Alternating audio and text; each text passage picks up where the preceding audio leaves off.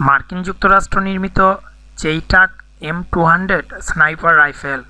পাহাড়, জঙ্গল, পানি, মরুভূমি, দুর্গম এলাকা যে কোনো জায়গাতেই স্নাইপাররা হলো সাক্ষাৎ মৃত্যুদূত যে কোনো টার্গেটকে আপনি দুই দশমিক চার কিলোমিটার দূর থেকে এই মেগা স্নাইপার রাইফেল দিয়ে গুলি করে হত্যা করা যায় খুব সহজে। যেমন ইরাকের মসুলে জঙ্গি সংগঠন ইসলামিক স্টেটের এক জঙ্গিকে প্রায় দুই দশমিক চার কিলোমিটার দূর থেকে মেগা স্নাইপার রাইফেল দিয়ে গুলি করে হত্যা করেছে ব্রিটিশ স্পেশাল ফোর্সের এক সেনা। গুলিটি আইএস জঙ্গি পর্যন্ত পৌঁছাতে তিন সেকেন্ড লেগেছে।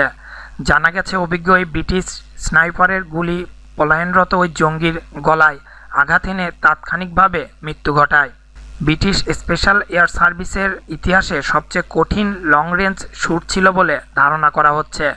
মার্কিন যুক্তরাষ্ট্র নির্মিত CheyTac M two sniper rifle থেকে গুলিটি করা হয়।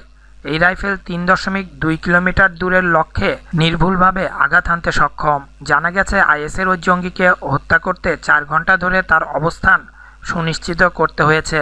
অবস্থান বদল করার সময় ব্রিটিশ ওই স্নাইপার রেঞ্জের মধ্যে চলে আসায় সেকেন্ডের মধ্যে গুলি করে লক্ষ্যভেদ করা হয়। ওই জঙ্গিকে বেশ কয়েকবার রেঞ্জের মধ্যে পেলেও তাকে গুলি করেনি। এত দূর থেকে গুলি করলে অনেক সময় বুলেটের গতির পথের ওপর প্রভাব ফেলে। দ্রুত এত বেশি ছিল যে লক্ষ্যবিদ্ধ করতে পুরো তিন সেকেন্ড লাগে।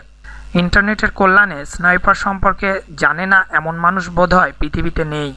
যে ব্যক্তি লুকানো অবস্থান থেকে সাধারণ সেনা, মার্কসম্যান এর ক্ষমতাকে ছড়িয়ে অনেক দূরের টার্গেটকে ফেলে দেয়, তাকেই সাধারণত স্নাইপার বলে।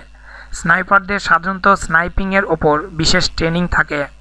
এছাড়াও এদের ছদ্মবেশ, স্কাউট, হাইআউট, রেকি এবং এক্সপ্লোরেশন এর ট্রেনিংও থাকে।